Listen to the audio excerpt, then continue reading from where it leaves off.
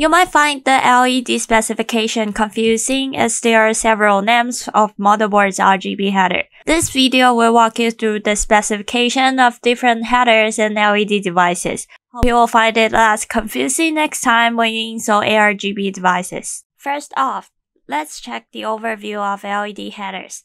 The main difference of these headers is the pin layout. JRGB headers are 4 pins 12 volt. JRainbow and JARGB V2 headers are 3 pins 5 volt. You can easily tell that RGB and addressable RGB devices are not interchangeable by the pin's layout. Installing LED to the wrong header can lead to an interesting journey.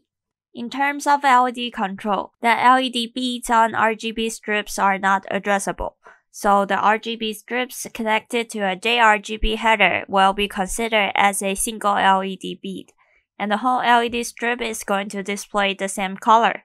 ARGB devices, as known as addressable RGB, can control each LED bead on the strip to display different color at the same time.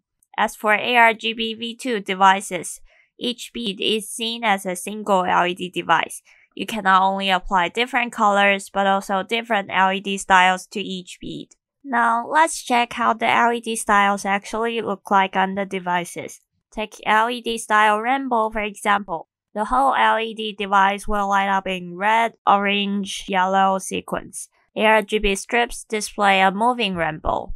ARGB V2 device can apply more than one effect on it. If you are synchronizing all LED devices with Meteor, you'll see the lighting moving along on ARGB strip, whereas on the RGB strip, you'll only see the strip flashing, because the LED device is considered as a single LED bulb as we previously mentioned.